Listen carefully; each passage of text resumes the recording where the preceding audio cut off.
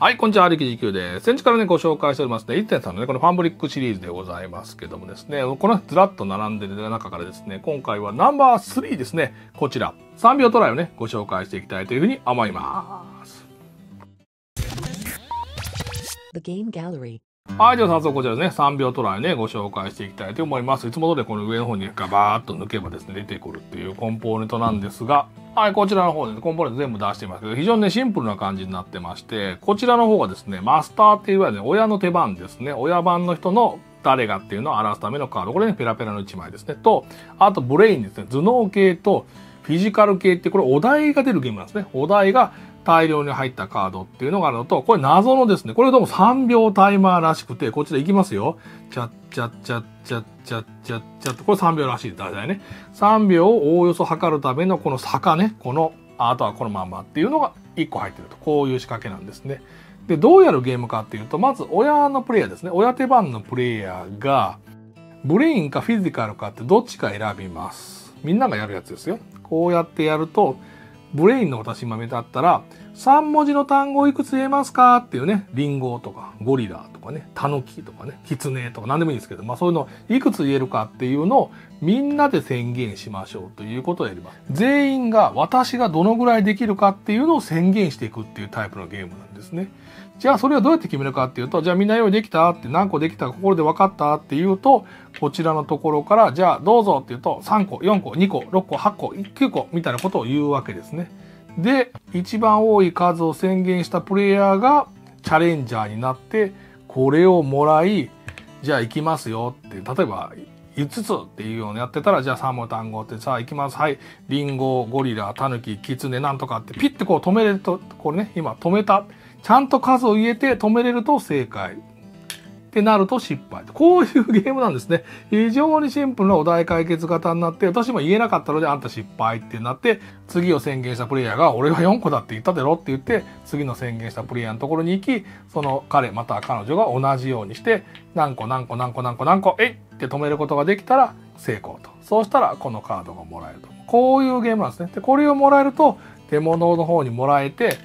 1ポイントという風になるので、これが、ま、2枚獲得できたプレイヤーできたら勝ちと。こういう感じなんです。まあもちろんね、これマニュアルにも書いてますけど、盛り上がったら別に3枚で終わりしても全然いいと思いますが、こういう形。で、そうすると、まあ親プレイヤーを隣の方に移して、よろしくお願いしますって言うと、親プレイヤーが、じゃあ今度はフィジカルにしようぜってフィジカル。肩から手首まで往復で何回擦れるってね、肩、肩から手首ですよね。肩から手首。1、2、3、4、5、6、7、8。こういうことですね。1、2、3、4、5みたいなやつを何回擦れるっていうのをみんなお題考えて、さあどうぞっていうやつをやると、はい、3回、4回、6回、5回、2回、8回みたいなことをやると、じゃあ8回のとどうぞっていうと、また同じようにチャレンジをすると、こう、チャカチャカチャカチャカチャカチャカチャカってやって8回できてれば OK と。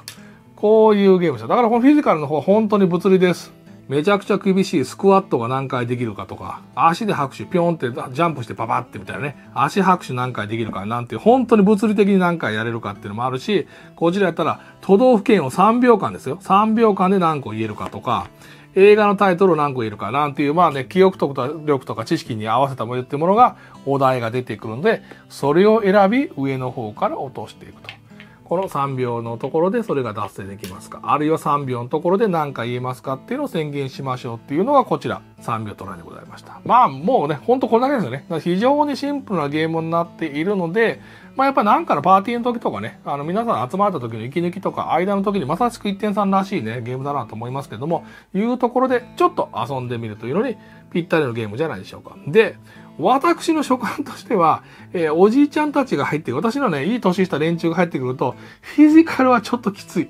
で、特にあと、ボードゲームカフェやなんかでちょっとできないお題が結構ある。まあ、あの跳ねたりなんかしたり、スクワットしてる人邪魔ですからね。なので、まあ、TPO のおじで選んでいただいて、このゲーム面白いと思いますが、場所によってはもうブレインだけでやっていただくとか、いう風にして、例えばもう私、これね、完全ルールにもね、私のサジェッションですけど、まあ、ブレインだけやるんだったら、このマスターのプレイヤーが2枚見てどっちか選ぶと全然いいと思うんですけども、まあ、そんな風にした方が遊びやすい場面も、まあまああるんじゃないかなというふうに思いましたんで、そのあたりのところね、周りの環境とか見ていただいて、楽しくプレイいただければいいかなというふうに思います。もう一つ、この玉意外になくなりやすいです。あの、遊んでこのフィジカルやって終わった時になんかいつの間にかどっかぶっ飛んでるってことがあるので、こうさっき押さえたりなんかするので、えーこの玉の中にあの最初2個入っていますけども、まあ、なくさないようにね、この玉だけはね、気をつけていただければなというふうに思います。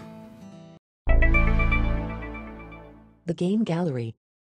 はい、というわけでこちらね、3秒トライをご紹介いたしました。いや、最初びっくりしましたね。ああ、ここうなんだと思いましたね。やっぱり普段いろんなボードゲームやっていますけども、まさにこのね、息抜きとかですね、まあ気分転換するときなんかに、本当にこれ小気味よく落ちるんですね。カッカッカッカッカッカッで、まあこれがやっぱりさ、すべてのミスだと思うんですけど、ストップウォッチとかじゃなくてね、っていうところで、まあ、この時間内に何回できるかを言う。そしてこの時間内に達成するっていうところをね、軽く遊んでもらうというためのゲームになってるんじゃないかと思いましたんでね、そのあたりのところを楽しんでいただければ、途中にも言いました通り、TP を見てもらってね、やっぱりこのフィジカルのとこね、場所食いますし、バタバタするので、まあ、前の、そっちじゃない方を選ぶっていうのも手じゃないかなというふうに思ったりする場面もあろうかと思いますんで、そのあたりのところね、気にしながらプレイいただければなというふうに思います。というわけで今回はこちらですね、3秒トラね、ご紹介いたしました、つけめチャンネルの春、90でした。はい、動画をご覧いただきましてありがとうございました。ザ・ゲームガイチャンネルですね、ボードゲームの専門チャンネルになっておりまして、様々なボードゲームのレビューとかですね、プレイレポートなどをお届けしております。もしですね、このチャンネルをお気に入っていただけましたらですね、チャンネル登録とかですね、個別の動画へのいいねボタンをよろしくお願いします。ザ・ゲームガイチャンネルの春99でした。